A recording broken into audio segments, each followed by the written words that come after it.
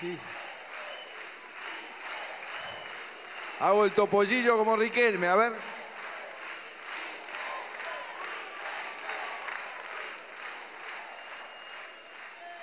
¿Quién vive en la zona de Juan B. Justo acá? Vos. ¿Qué lo que vez que llovía? Por favor. ¿Y quién fue el, que llegó de jefe de gobierno lleno de contento? Todavía no teníamos los globos, pero estaba muy contento. ¿sí? ¿Y qué pasó la primera semana? La lluvia, una lluvia así, vinieron los botes a Juan B. Justo y me llevan a una conferencia de prensa, mi gran equipo, y los periodistas, como tiene que ser, implacables, me dicen, pero ¿qué va a pasar?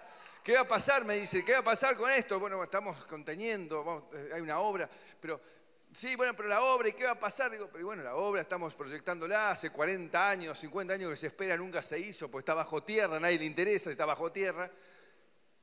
Entonces me dice, pero el año que viene va a pasar. Y yo dije, "Toto, ¿qué año, pase- el año que viene? La apenas va a estar empezando, apenas vamos a estar adjudicando. Entonces le dije, el año que viene, basta. El año que viene se va a volver a inundar. Dentro de dos se va a volver a inundar. Dentro de tres se va a volver a inundar. Y de cuatro no se inunda más. No se inunda más.